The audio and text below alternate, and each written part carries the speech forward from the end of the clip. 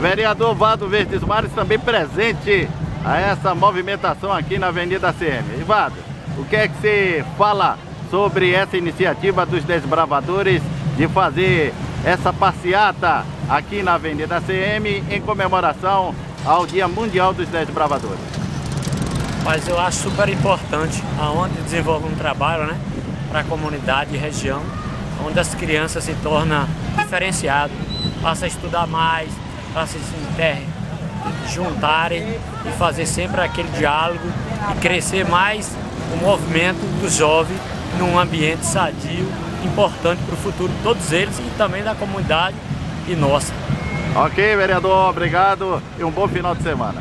Obrigado, Deus que abençoe a todos que estão participando e os que também não estão.